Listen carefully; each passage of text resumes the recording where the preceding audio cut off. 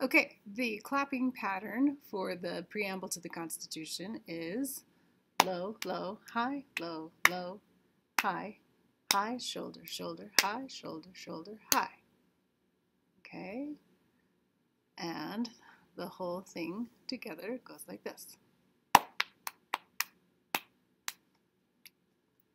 We, the people of the United States, in order to form a more perfect union establish justice, ensure domestic tranquility, provide for the common defense, promote the general welfare, and secure the blessings of liberty to ourselves and our posterity. Do ordain and establish this Constitution for the United States, the United States, the United States of America.